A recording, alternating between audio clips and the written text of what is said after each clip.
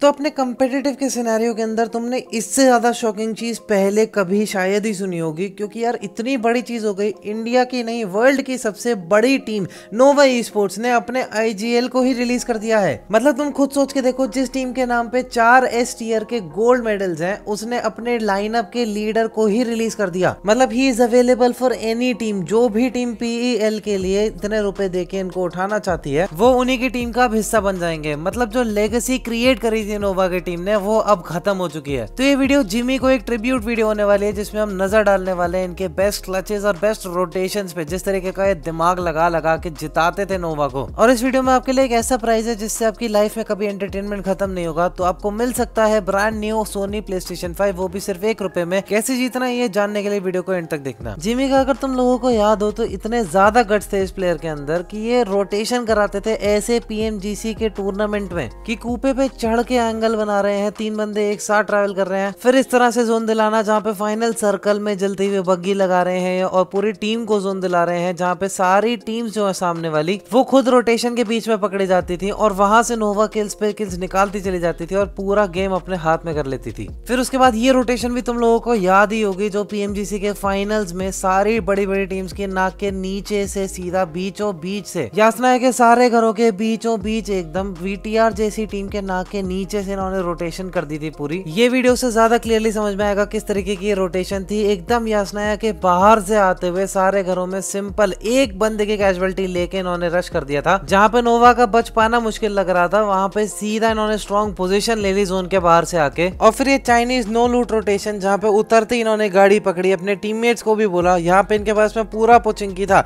लेकिन किसी ने भी कुछ भी नहीं लूटा जस्ट बेसिक बेसिक एक गन उठाई और सीधा ड्रॉप लेते ही यहाँ पे रोटेशन लगा दी थी। और फिर वहाँ से सेकेंड पोजिशन निकाली थी अपनी टीम के लिए। इसके बाद अगली स्ट्रैटेजी तो आ हा हा हा, एकदम चुम्मेश्वरी स्ट्रैटेजी थी। ये लोग हमेशा ध्यान रखते हैं, कोई भी फाइट अगर हो रही है तो एक ना एक बंदा इनका हमेशा ऑफ़ एंगल पे रहेगा। ये कभी भी पूरी फाइट चारों के चारों बंदे एक साथ घुस के नहीं रहते हैं। पहले तो ये थ्री वन स्प्लिट ले रखा है, जहाँ पे ऑफ़ एंगल होल्ड करा रखा है ऑर्डर को, और पीछे से जो भी बंदे आ रहे थे इनकी तरफ़ से, वो सब के सब मर रहे थे। ये गाड़ी से इनको उतरने भी नहीं दिया, सही से हर तरफ़ से इनको मार दिया। बस एक ऑर्डर को भेज दिया वहाँ पे, उसकी वजह से बीच से कोई भी बंदा जा ही नहीं पाया, इतना गंदा सैंडविच करा, इन्होंने गाड़ी तक नहीं ले जाने दी। अब इसके बाद में इनकी फाइट हुई, फिर से थ्री वी फोर की फाइट थी एसटीई से। और जिस तरीके से इन्होंने वो फाइट निकाली ना, भाई मज़ा आ गया देख के। एक बंदे को पैराबॉय ने पहले ही फिनिश कर दिया थ्री वी थ्री की फाइट कर दी फोर वी थ्री से। और पोजिशनिंग देखो पैराबॉय कोने में छुप गए, यहाँ से जिम्मी कोने में छुप गए, और बीच का बस फ्रोजन जो है, वो मूवमेंट दे रहे हैं।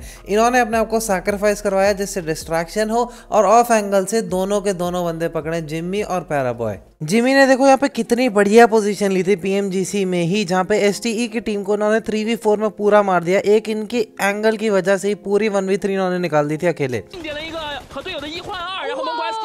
तो चलिए अब बात करते हैं कि कैसे आप जीत सकते हैं एक brand new PlayStation five पाँच मई को इंडियन टी ट्वेंटी लीग का मैच है राजस्थान और गुजरात के बीच में। मैच से पहले डिस्क्रिप्शन में दिए हुए लिंक से डाउनलोड करो माई इलेवन सर्कल ऐप अभी और टीम बनाओ। डाउनलोड करके गिव अवे कॉन्टेस्ट ज्वाइन करो और जीतो सोनी प्ले स्टेशन फाइव इस कॉन्टेस्ट की entry fees is only rupees one और ये कॉन्टेस्ट सिर्फ़ पाँच मई के मैच के लिए ही वैलिड है, सिर्फ़ मेरे सब्सक्राइबर्स के लिए और मेरे ही लिंक से एक्टिव होगा। टूर्नामेंट के हर मैच डे में मेगा कॉन्टेस्ट ज्वाइन करो और जीतो एक करोड़ और सेकंड प्राइज में मिलेगी चमचमाती महिंद्रा थार। डिस्क्रिप्शन में दिए हुए लिंक से डाउनलोड करो और यूज़ करो मेरा coupon code M E C new तो डिपॉजिट करते ही मिलेगा 20 percent extra cash download the app from description and make your team for Rajasthan versus Gujarat matches on My Eleven Circle now फिर दोबारा से क्या परफॉर्मेंस यहाँ पे भी दिखाई थी इन्होंने, जहाँ पे पैरा बॉय इनके फिनिश हो गए थे। तो तुरंत स्मोक करना स्टार्ट करा डैमेज देना स्टार्ट करा। केवल यहाँ पे फ्रोजन और जिम्मी बचे थे, क्योंकि पैरा बॉय को यहाँ पे रिवाइव नहीं मिल पाता है। और ऑर्डर जो इनके मेन असोल्टर है टीम के, वो भी यहाँ पे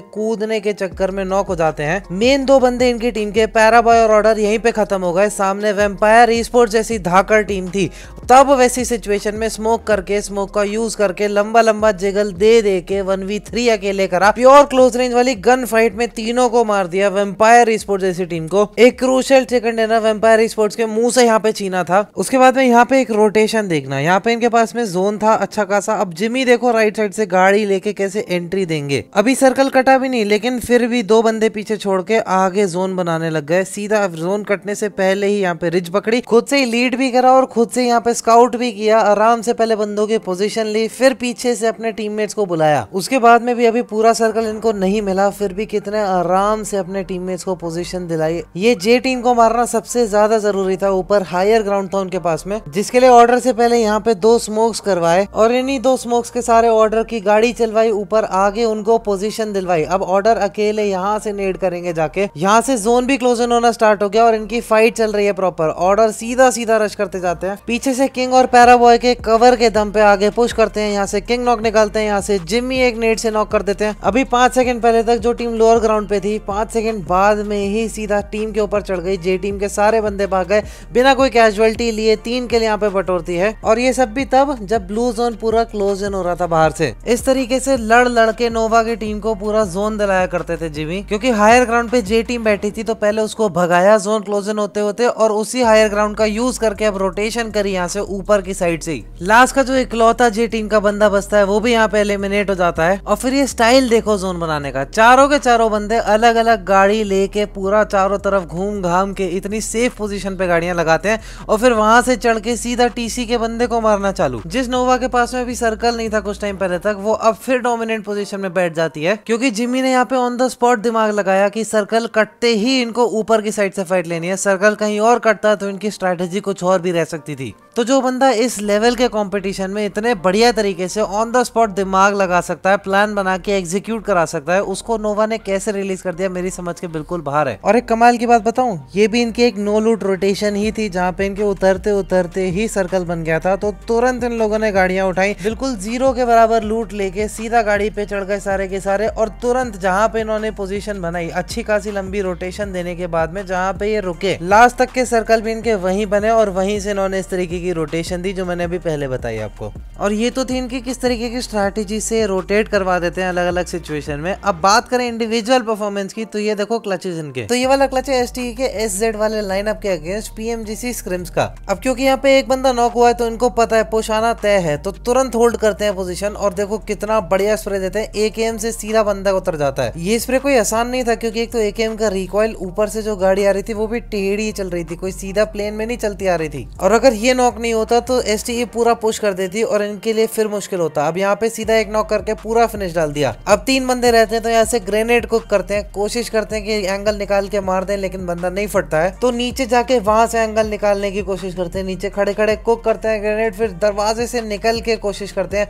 तब भी बंदा नहीं फूटता। उल्टा इनकी टीम के बंदे और फूट जाते हैं। तो ये जो इनका काम माइंडसेट है ना, वो यहाँ पे काम आएगा, क्योंकि वन वी थ्री की सिचुएशन है। अकेले हैं, ऊपर से नेट करने की कोशिश करते हैं। देखते हैं एंगल नहीं आ रहा तो नीचे आके इस खिड़की से फेंक देते हैं। आप प्रेजेंस ऑफ़ माइंड देखो कि लड़ा के नेट फेंकते तो नेट नहीं फूटता तो तुरंत नीचे आके तब जब बंदे चढ़ रहे हैं, तभी एकदम से दिमाग लगाते हैं नीचे से मारने का। ग्रेनेड की डायरेक्शन ऑन द स्पॉट बदल दी, फिर पूरी कोशिश करते हैं सामने से बंदों को रोकने की, बंदे नहीं रुकते हैं। इस टाइम पे थर्टी एच बचे हुए हैं, बंदे पूरा चढ़ रहे हैं इनके ऊपर तो पूरा टाइम वेस्ट करा देते हैं कि पैरा बॉय आए, पीछे से बंदा उतरता है तो तुरंत उसके उतरने से पहले ही फिनिश कर देते हैं, तुरंत वापस घर में आते हैं, कोशिश करते हैं एक पोजीशन होल्ड करने की। सामने से तीसरा बंदा आता है तो उसको भी इतने बढ़िया हिप फायर में लेके जाते हैं। टेन एचपी की सिचुएशन बची है। एक हाथ में स्नाइपर है तो आराम से ऊपर आके हील लगाते हैं, फिर तुरंत रश करते हैं वापस से। पैरा बॉय भी तब तक नॉक हो चुके होते हैं और देखो क्या प्रेडिक्शन के साथ में आखिरी बंदे को फिनिश करते हैं और अपने टीममेट्स को बचा भी लेते हैं। उसके बाद में नज़र डालो ये एल के अगेंस्ट वन पे।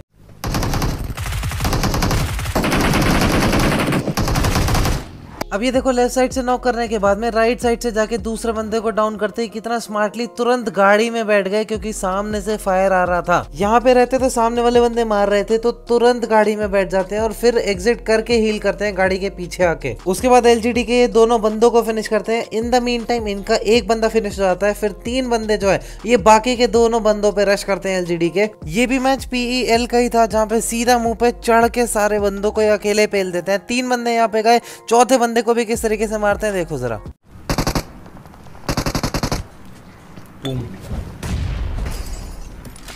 तो जो प्लेयर खुद इतना ज़्यादा वर्सेटाइल है, इतनी बढ़िया स्ट्रेटेजीज ऑन द स्पॉट बना के एग्जीक्यूट करवाता था, पबजी मोबाइल की वर्ल्ड की सबसे ज़्यादा सक्सेसफुल टीम का लीडर था ये। ऑर्डर पैराबॉय फ्रोजन किंग जैसे प्लेयर्स को लीड किया इसने। ऐसे प्लेयर को कोई टीम क्यों ही रिलीज़ करना चाहेगी? आई बिलीव कुछ पर्सनल रीजन के चलते ये सब हो रहा होगा। रीजन चाहे जो भी हो, इस लेजेंड को और नोवा के उस लेजेंडरी लाइनअप को लोग मिस बहुत ज़्यादा करने वाले हैं। ये वीडियो बनाने तक तो मेरे पास में कोई इन्फॉर्मेशन अवेलेबल है नहीं। अगर आपके पास में है कि क्यों ये सब हुआ तो मेरे को कमेंट सेक्शन में ज़रूर बताना और मिलते हैं नेक्स्ट वीडियो में, तब तक के लिए बाय बाय और डाउनलोड करना माई इलेवन सर्कल को प्ले स्टेशन फाइव जीतने के लिए वो भी एक रुपए में। जीतो एक करोड़ रुपए और एक महिंद्रा थार और बीस एक्स्ट्रा कैश मिलेगा आपको। फ़र्स्ट डिपॉजिट में लिंक है डिस्क्रिप्शन में और पिन कॉमेंट में।